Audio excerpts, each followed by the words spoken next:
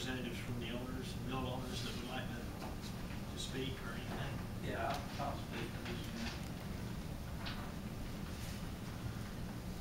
Uh, my name's Joe Tillman, and, uh, my fa, I grew up here.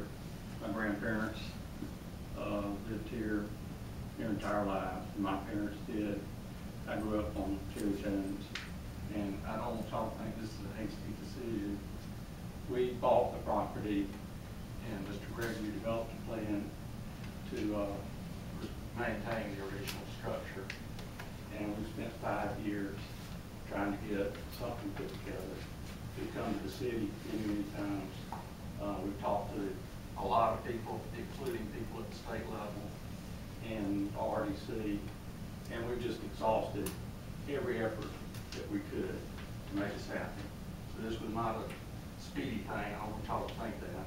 It's just the reality. Number one, it's a tremendous threat to the public safety right now. We're very concerned. If you look at towers, there's large drawings on the towers. They had to get up on the roof to do that.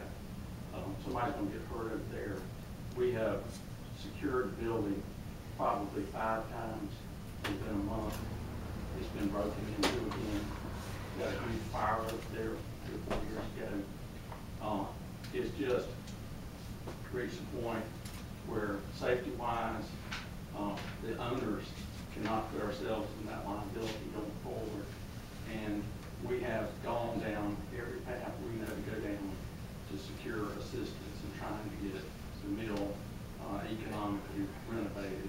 And we have hit a dead end. And so I, on the other hand, would ask the city, and there's a lot of record on this over the last five years, as well aware of the enormous effort we made to maintain the mill site. And we just were not successful. And, uh, it's reached a point where economically, we cannot continue to pour money into it. And we cannot get any developer, we've not had one offer on that property. So, um, it's just reached the point where we have to be realistic about what the options are. And, uh, said, we've done everything we could.